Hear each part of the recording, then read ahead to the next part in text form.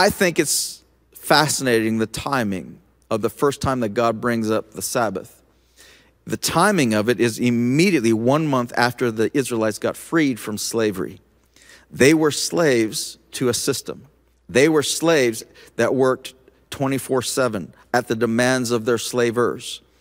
And God's gift to them was a day of rest. They had never in their entire lives had a day of rest. They didn't know. It was unnatural for them, which is probably why some of them went out and gathered. They're like, no, this, this isn't normal. This isn't natural. And trust me, when we start Sabbath, it's not natural. It doesn't, like, I feel like I should be doing something. Come on, us workaholics, let's get real. Like, I should do something. I should do something productive. That rest is not productive.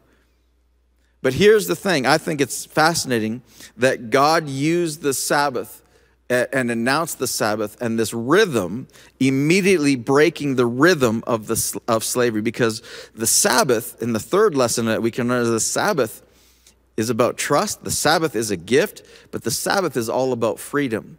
And Jesus chastised the religious who turned the freedom of the Sabbath into another rule and religiously enslaved people to the rules instead of realizing that the Sabbath is created for us as a gift for freedom, right? Uh, and a matter of trust. And that they stole that, that religion can steal that too. So it's not a religious ritual, you know, something that, that we have to because it's slaved about. It's about freedom. And when they turned it into a religious requirement, they removed the freedom aspect and disrespected the gift. So here's, here's, my, here's my revelation for those note takers lessons on the Sabbath.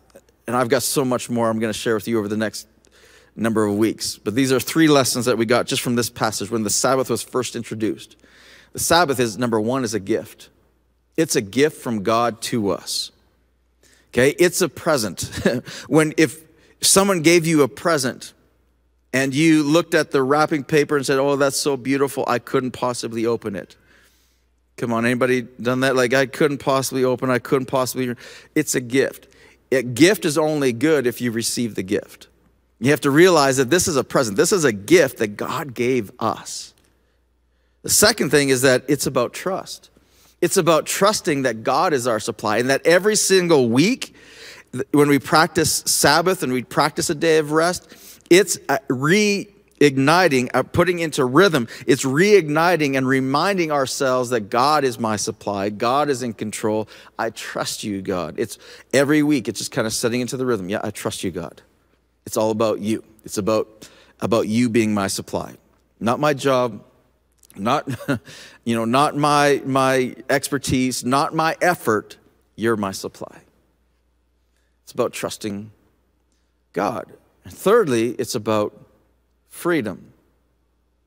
And here's my revelation. This is where God's messing with me. Is I haven't viewed rest as a gift. I viewed it as a four letter word. I viewed it as a, a stop and put on hold and a waste of time. I haven't viewed it as a gift. So imagine my surprise when I read Exodus 16 and the Sabbath and realizing, whoa, it's a gift. My other revelation is I haven't trusted God enough that when I rest in Him, He will pull me towards His goals for me. I haven't trusted Him enough to go, now, if I stop pushing, it's going to put it on hold, not realizing I, I got to trust him that he's going to pull me towards his goals for me. And I have been a slave to society and its celebrations of busyness, and hard work.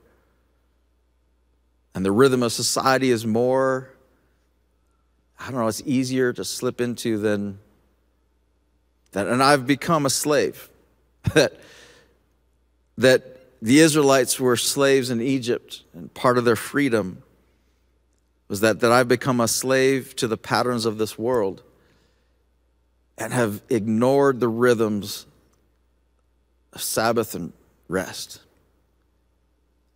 And then I read this quote in my studies Adele Calhoun said this. Man, this hit me right between the eyes. If you aren't resting, you are a slave to something. Ouch. If you aren't resting, you are a slave to something. How, how do you view rest?